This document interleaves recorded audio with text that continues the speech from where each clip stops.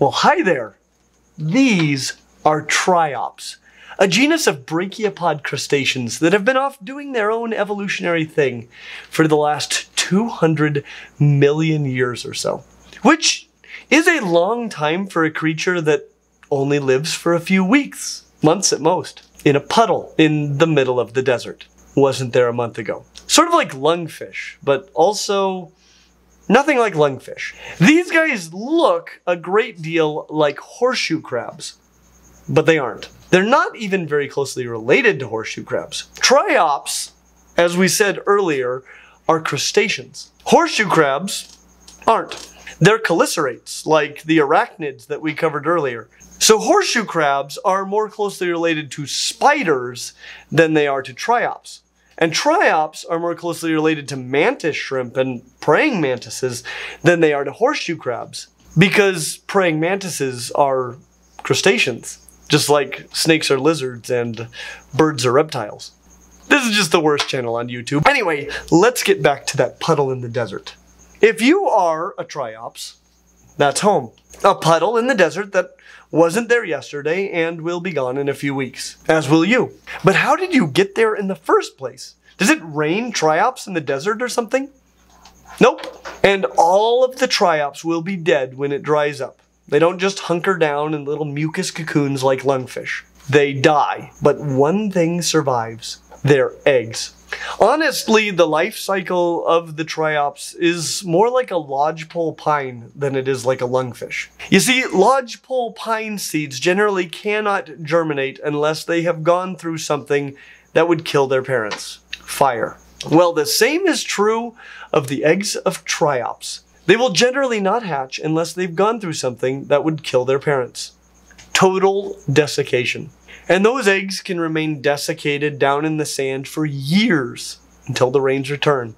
And it also means that they can be shipped in a Kool-Aid packet full of sand to your door and then grow up in an ephemeral pool at your house if you know what you're doing.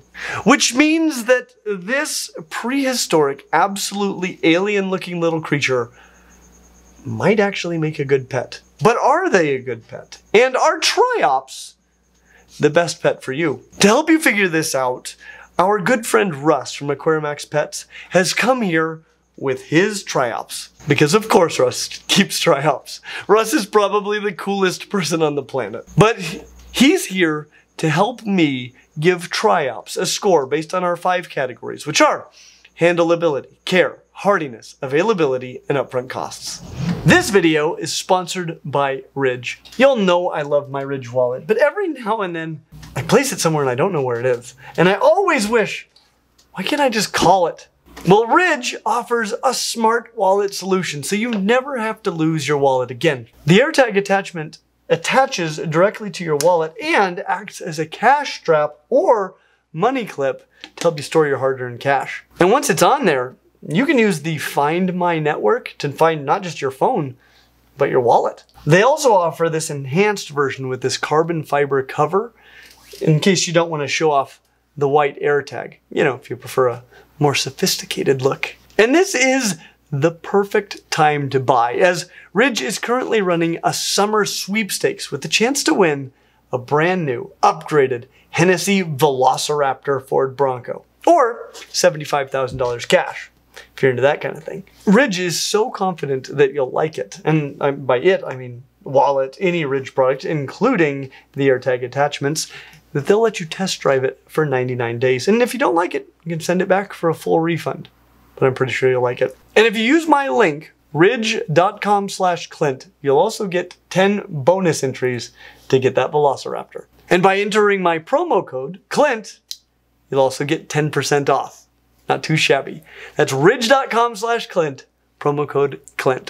When it comes to handleability, we give Triops a score of 2 out of 5. This is a creature that lives in the water and uses gills to breathe. So you would probably not expect for it to do very well being handled by some handsy air-breathing land fish. Because mammals are fish, uh, including whales. Ugh. Could, could this channel get any worse?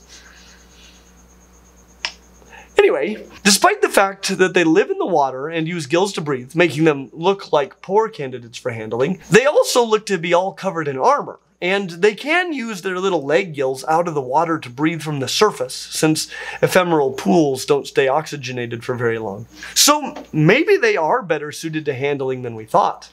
And they really can handle it both better and worse than you would probably think. The main way that it is worse is that they aren't really as tough as they look. Generally speaking, you can either build quickly or you can build well. And when you live in a pool that might be gone tomorrow, speed beats quality. They are much more fragile than they appear. They can be scooped up. They are relatively easy to move with a fine woven aquarium net, but it is surprisingly easy to smash one. So probably avoid handling them as much as possible. That said, they aren't going to do you any harm. They are a bit hard to grab, but that is about their only defense. Must get big, no time for weapons. When it comes to care, um, it's not rocket surgery, but a good understanding of desert water cycles might come in really handy. So I'm going to turn the time over to Russ from Aquarimax Pets, a channel that you should totally be subscribed to, who I just learned does awesome educational presentations under the seriously deserved title of Russ the Bug Guy, which I think is just the best. Certainly better than Russ the Brachiopod Boy, even though that would be more appropriate today. But Russ, by whatever name you prefer, has so kindly come down here today to help with the first ever Clint's Reptile Academy and to teach us how to care for triops. Thank you, Clint. When caring for triops, you need to keep in mind the cycles of an ephemeral pool, and that due to these cycles, the different life stages of a triops population have differing requirements. So, care for triops is going to come down to five stages dormancy, hydration, growth, reproduction, and desiccation. You will receive your triops in the first stage, dormancy. They'll be dry little specks mixed with dry sand or a similar substrate in a little Kool-Aid packet. As long as the eggs stay dry, they can survive for quite some time, we're talking years here, with absolutely no care at all. Once you decide you want to open that Kool-Aid packet and hatch those eggs, it's time for the next stage, hydration. You'll need a small container, preferably with a reasonable amount of surface area. You also need water, but you won't want to just use any water. Keep in mind that an ephemeral pool fills with rainwater, which is pretty pure, at least at first. Tap water is usually too full of minerals and other contaminants to hatch triops eggs. So using it can be a recipe for failure. I've had success with distilled water, water that has been run through a reverse osmosis unit, or one of the previous two water sources mixed with spring water. Since triops typically hatch in the warmer and sunnier seasons of the year, both warmth and light are important triggers to hatching. And so try to provide temperatures of around 76 to 80 Fahrenheit, 24.4 to 26.6 Celsius, or 297.6 to 299.8 kelvins, and some bright illumination. In this temperature range, they usually hatch within 24 hours, if not sooner. They can hatch in cooler temperatures, but it can take several days. Once they hatch, they're visible as minuscule specks moving jerkily in the water. And that brings us to the growth stage. After hatching, the triops will begin to grow incredibly fast. In good conditions, there will be a noticeable size difference every day from hatching to maturity. Not surprisingly, that growth needs to be fueled by food, and lots of it. Both starving triops and overfeeding them can kill them quickly, so I'd better give you some tips here.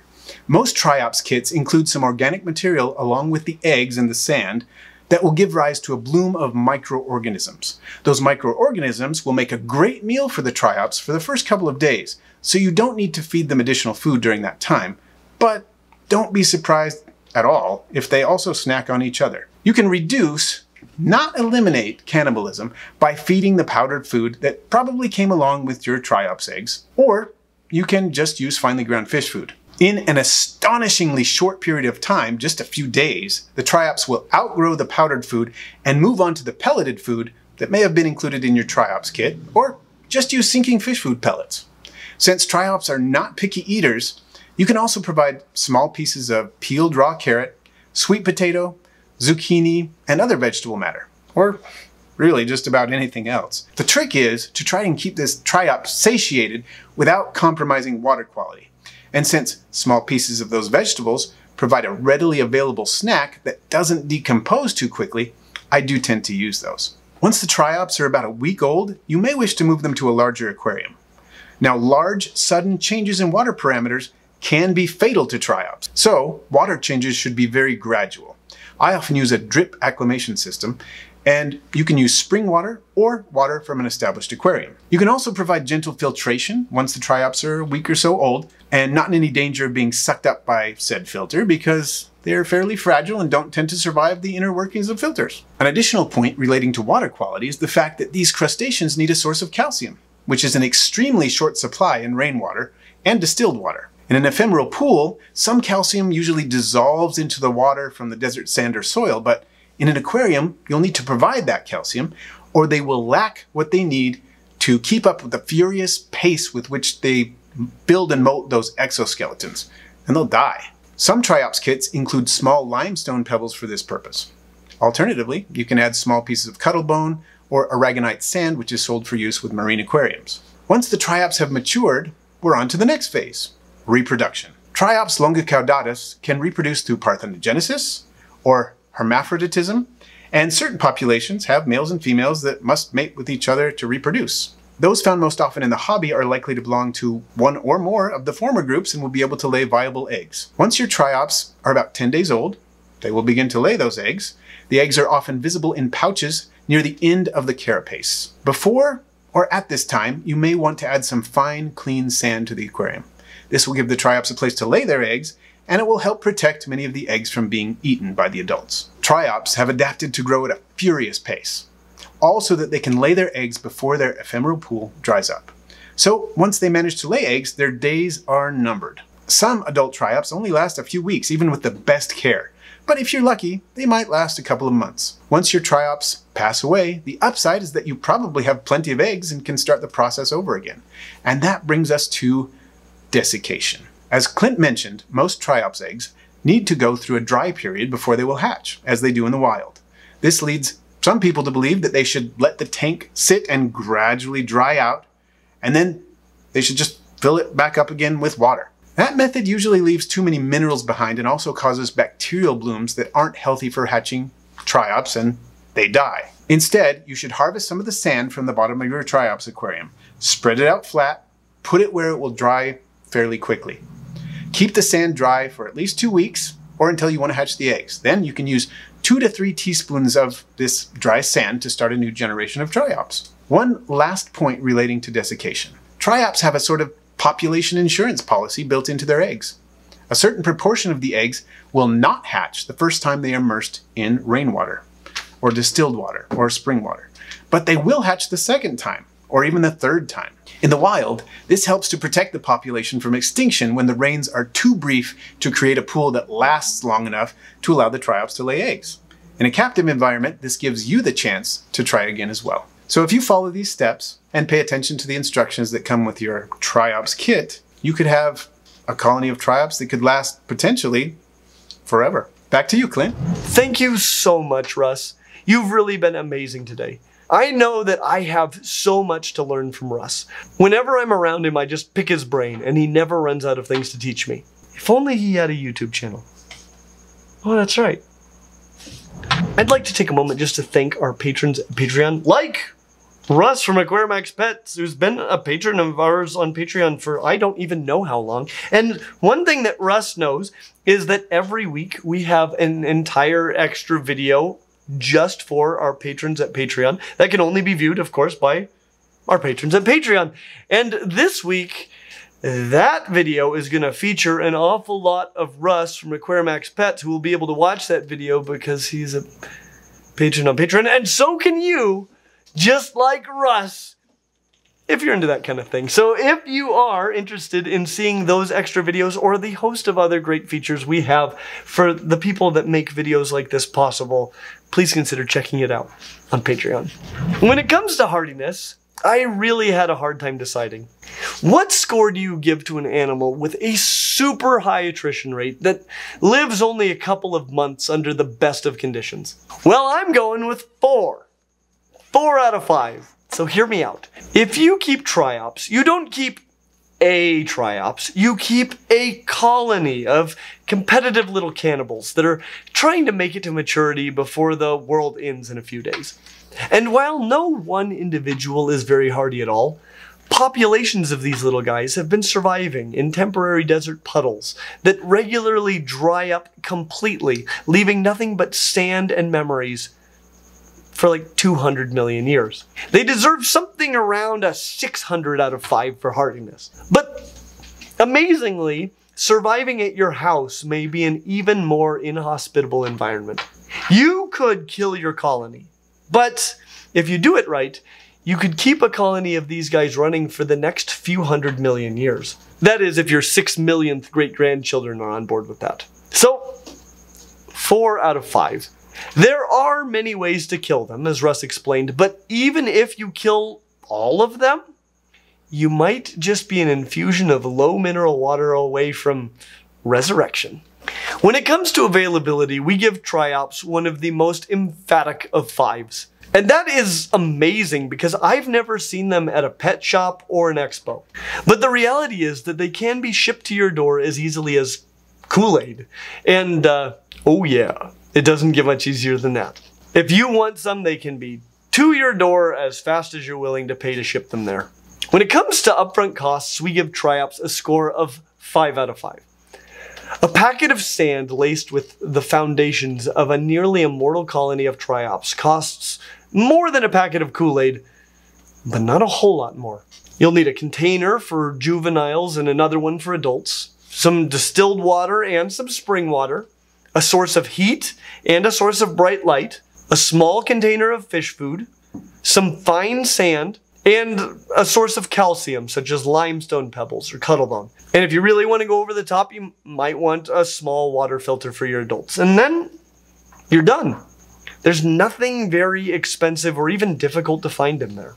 And that is why, overall, we give Triops a score of 3.8 out of 5. Honestly, if what you want is something that looks like it should be extinct, but isn't, that you could drive to extinction in your home and then have pop up again, like daisies, except uh, daisies that look as alien as horseshoe crabs, but are more closely related to praying mantises, which also look like aliens, then Triops might be the best immortal pet that you can get in a Kool-Aid packet for you. As always, like and subscribe, and subscribe to Aquarimax Pets, and we hope to see you real soon. Okay. Glasses off. That could be some weird continuity. Okay. Clint, Yes, how's your voice? not so good. Why?